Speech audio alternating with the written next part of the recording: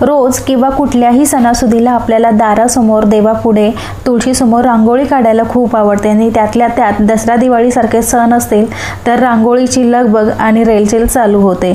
छान छान रंगीबेरंगी आपण रांगोळ्या काढतो आणि भरपूर मोठी रांगोळी काढली तरी त्यामध्ये आपल्याला काढायचा असतो दिवा.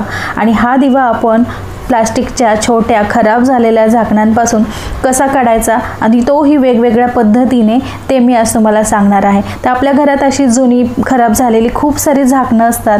कधी काही पार्सलचे डबे आलेले असतात आणि त्यातली अशी झाकणं चीर पडलेली झाकणं ती आपण कचऱ्यामध्ये फेकूनच देतो. मग त्यापासून आपण छान छान दिवे किंवा पंतीच्या रांगोळ्या कशा काढणार आहोत ते पाहणार आहोत. तर ही अशी प्लास्टिकची छोटी किंवा मोठी कुठलीही झाकणं असू शकतात. तर माझ्याकडे अशी ही पार्सलची दोन झाकणं त्याचबरोबर केसरचा हा डब्बा रिकामा झालेला आणि हे जे झाकण आहे याचा डब्बा तुटलेला आहे. त्याचबरोबर बाटलीचं झाकण या सगळ्या झाकणांचा वापर करून आज आपण छान छान पंतीच्या डिझाईन काढायला शिकणार आहोत. तर काही अर्धी तुटलेली झाकणं असतील त्याला आपल्याला कात्रीने कट करून अर्ध करून घ्यायचं आहे. म्हणजे याचा चंद्राचा आकार तयार होईल. आणि जे कापलेलं प्लास्टिकचं झाकण आहे त्याच्या बाहेरून आणि त्याची जी आडवी रेग आहे त्याचा तुम्ही वापर करून त्याच्या भोवतानी रोक रांगोळी काढून छान छान असे डिझाईन करू शकता.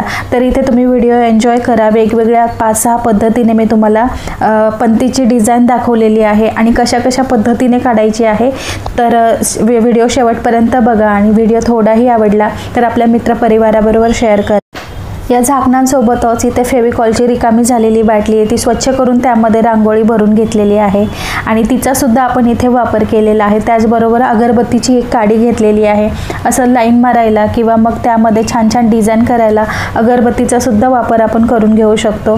त्याचबरोबर ही जी लहान मोठी झाकणं आहेत लहान पंती काढायची असेल तर लहान झाकणांचा वापर करायचा. मोठी पंती काढायची असेल तर मोठ्या झाकणांचा वापर करायचा. इथे पाहू शकता झाकणाच्या भोवताली तुम्ही असे डॉट्स देऊन बोटाचा वापर करून सुद्धा इथे छान डिझाईन करून घेऊ शकता.